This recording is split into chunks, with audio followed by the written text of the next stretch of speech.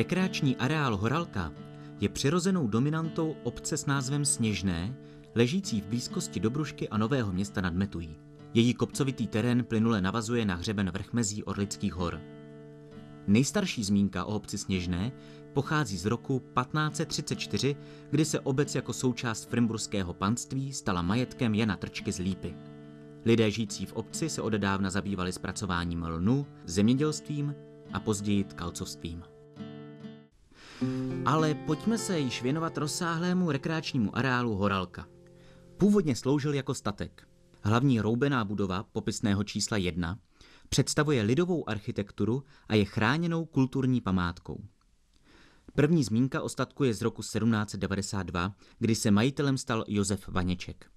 V roce 1795 koupil objekt Andreas Fogl ze sousední obce Polom. V polovině 20. století byl areál využíván k zemědělským účelům. Za přispění sněženského rodáka pana Lubomíra Čtvrtečky byl odkoupen tehdejším výrobním družstvem Velorex a po rekonstrukci se proměnil na rekreační objekt. V roce 1996, kdy hrozil jeho zánik společně s ukončením činnosti družstva Velorex, koupila areál Horálka společnost s ručením omezením Techpos a ta je proměnila v několika letech v moderní, velmi atraktivní, sportovně a kulturně oddychový komplex s mnohostranným využitím. Po vstupu do areálu nás uvítá směrovník s názvy budov a jiných částí areálu a parkoviště automobilů.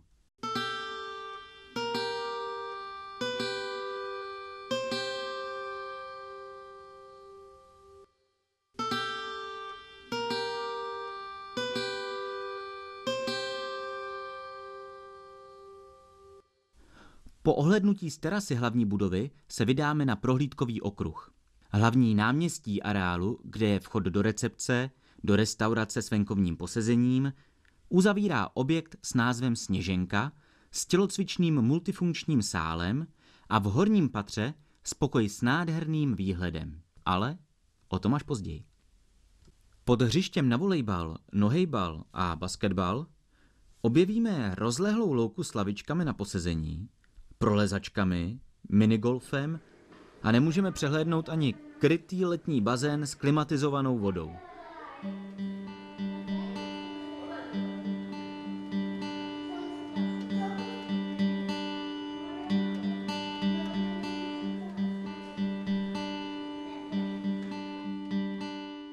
V sousedství bazénu je ohniště pro táboráky a stavba připomínající tvarem indiánské týpí.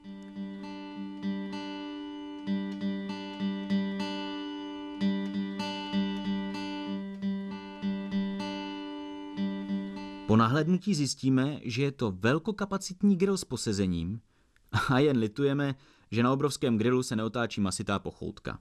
Inu, to ponecháme na naší a vaší fantazii.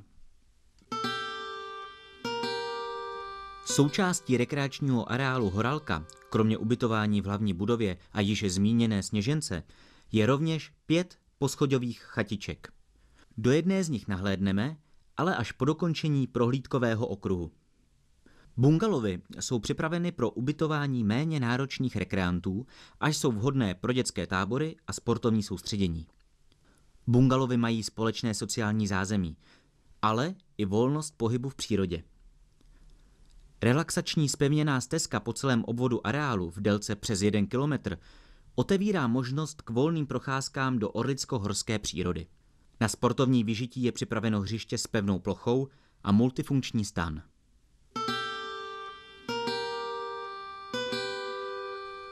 Jen pár kroků od bungalovů je romantické posezení pro rozjímání u prameniště Dolského potoka a na dohled rybolovný rybník, kde jsme vyrušili rybáře, čekajícího na svůj velký úlovek.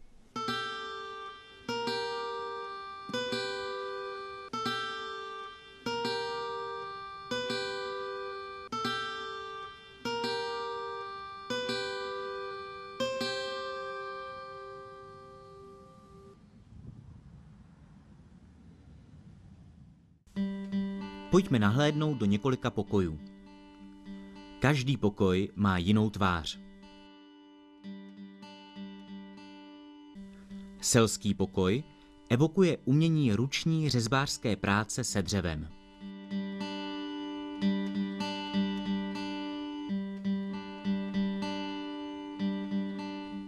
I ostatní pokoje jsou zařízeny vkusně a účelně s dostatkem odkládacích prostorů.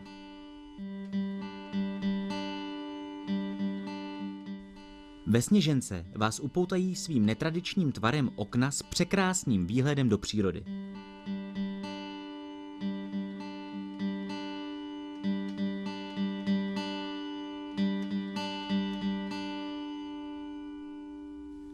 Pokoje jsou vybaveny kompletním sociálním zařízením. Jak jsme slíbili v úvodu, půjdeme se podívat do jedné z pěti chatek. Ty jsou určeny pro početné rodiny a svými šesti až sedmi lůžky uspokojí i ty nejnáročnější rekreanty.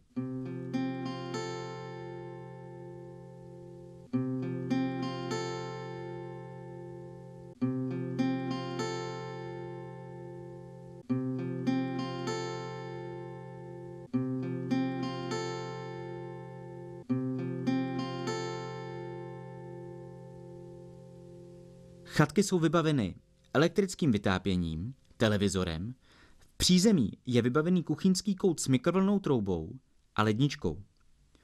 Spolu se sociálním zařízením tvoří kompletní rekreační jednotku.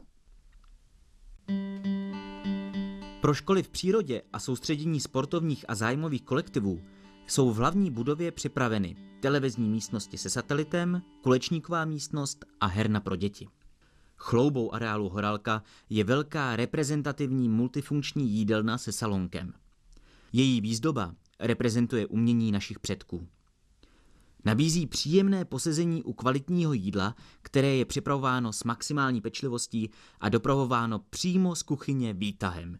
Zde se rovněž konají svatební hostiny i jiné slavnostní události. Při naší návštěvě právě dorazila do areálu z výletu cyklistická rodina – Okolí Horalky je totiž ideální pro cyklistické výlety a na informační tabuli naleznete tipy pro různé trasy. Před sněženkou jsme zastihli dívčí kolektiv při jakémsi hopsání a tak jsme některé z nich následovali do tělocvičny. Na požádání nám ukázali úryvek ze svého cvičení.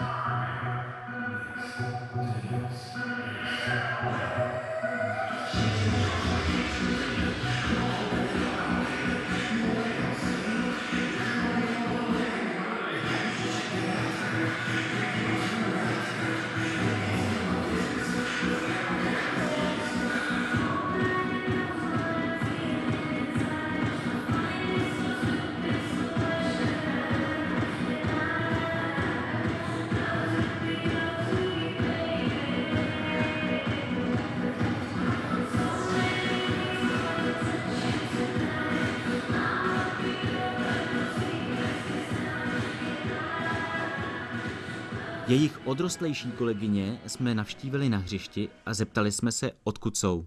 Z Hradce Králové, uh, aerobik a tehdy Hradec Králové.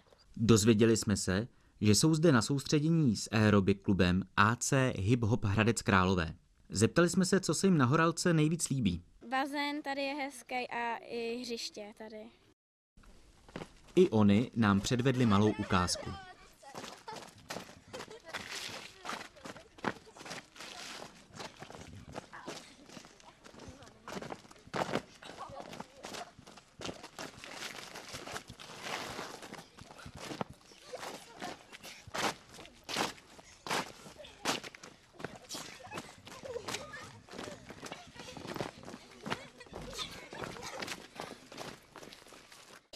Protože byl čas večeře, zajímalo nás, co budou mít děvčata po náročném tréninku na talířích. Kuřecí řízky všem náramně chutnaly. Ovšem i ostatní rekreanti a náhodní návštěvníci nestrádají. V hlavní budově mohou navštívit restauraci, kde se o jejich spokojenost postará milá obsluha. Na výběr jsou hotová jídla i minutky. Děti ocení velký výběr mražených výrobků a tatínkové pivo jako křen. Zvláště pro děti z města je velkým lákadlem místní mini zoologická zahrada.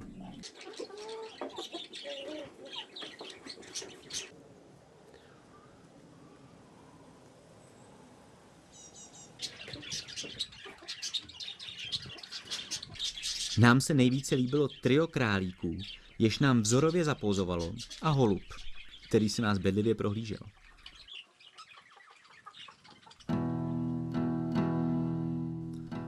Blízkém okolí rekreačního areálu Horálka ve Sněžném je několik pozoruhodných míst lákajících k návštěvě. My jsme navštívili vojenskou tvrz Skutina, kde jsme zastihli spolumajitele pana Josefa Balcara. Ten nám řekl. Nacházíme se před dělostřeleckou tvrzí Skutina.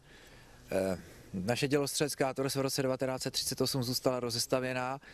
Eh, kvůli podpisu Mnichovské dohody stavebně se nikdy nedokončila. Momentálně stojíme před pěchotním srubem NS-48 u Sturol. Rekonstrukce objektu eh, začala v roce 1999, 1. září.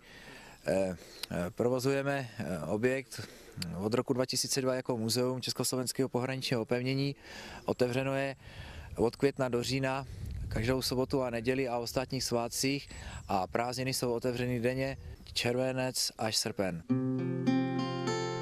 Další, tentokrát zimní nabídkou, jsou lyžařské vleky na rozhraní Polomu a Olešnice v Orlických horách. Pro milovníky historie bude jistě zajímavý i nedaleký městys Nový Hrádek s romantickým náměstím. V jeho čele stojí místní kostel, ve kterém letos oslavovali 650 let místní farnosti. U hlavního vchodu do kostela je ve stěně umístěn náhrobek zakladatelů Horálky.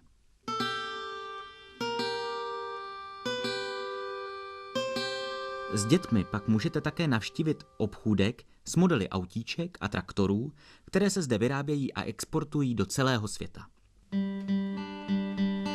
Cestou můžete navštívit i zříceninu hradu Frimburg, který pochází ze 14. století a je zajímavý svým malým půdorysem a neobvyklou silou obraných zdí. Hrad je v současnosti postupně rekonstruován.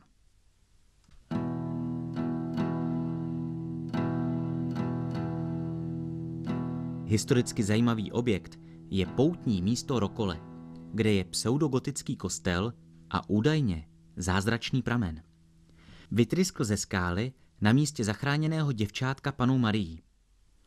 Po uzdravení slepého lesníkova synka si místní obyvatelé jezdí pro vodu z pramene, která má údajně léčivou moc, ještě dnes. V blízké obci Slavoňov je ukrytá okouzlující památka lidové architektury. Dřevěný kostelík s lidovými malbami, postavený roku 1553 Janem Kotlačkou. Kostelík se zajímavou vstupní branou je zapsán v seznamu UNESCO a rozhodně stojí za vaši pozornost. Pro ty, kteří se rozhodnou pro pobyt na Horalce, bude zajímavým zpestřením i procházka s prohlídkou nedalekého Grulichova arboreta – s největší sbírkou skalniček a okrasných dřevin.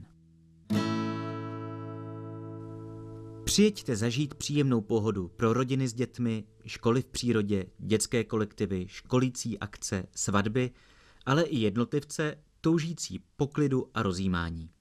Rekreační areál Horálka ve Sněžném je tu pro vás i pro vaše zvířecí mazlíčky.